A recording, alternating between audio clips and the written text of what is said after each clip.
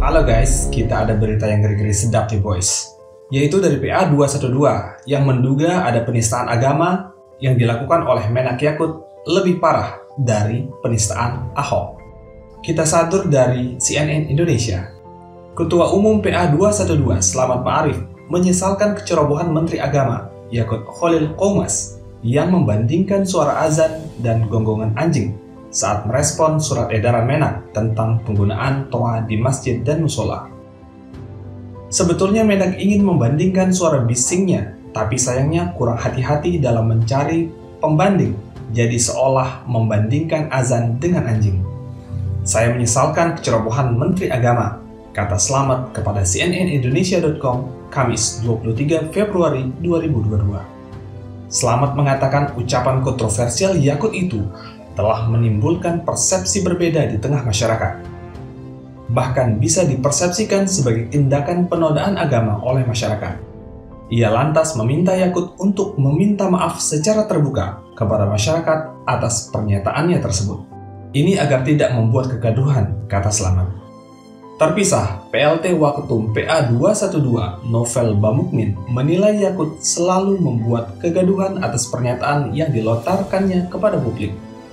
Baginya, pernyataan Yakut itu lebih parah ketimbang bait puisi yang disempat dilontarkan Sukmawati yang membandingkan kidung dengan azan. Diketahui Sukmawati sempat menulis puisi berjudul Ibu Indonesia. Dalam salah satu penggalan bait puisi itu, Sukmawati menyinggung kidung dan azan. PA212 menegaskan pernyataan Yakut ini lebih parah dari ex terpidana kasus penistaan agama Basuki Cahaya Purnama alias Ahok yang menista ayat Al-Quran. Dugaan penistaan agama yang dilakukan oleh Yakut lebih parah dari Ahok dan Sukmawati, yang mana Sukmawati membandingkan azan dengan suara kidung, tapi si Yakut malah membandingkan dengan suara anjing, kata Novel.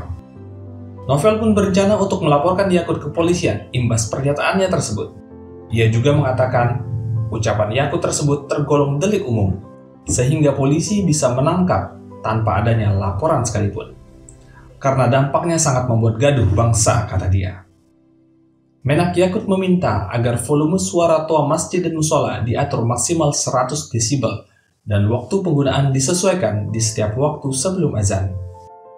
Hal itu dia sampaikan merespon edaran mengatur penggunaan pengeras suara di masjid dan musola yang dikeluarkannya beberapa waktu yang lalu. Namun, ia kemudian mencontohkan suara-suara lain yang dapat menimbulkan gangguan, salah satunya suara gonggongan anjing. Bagaimana menurut kalian mengenai berita ini? Baku hantam di kolom komentar.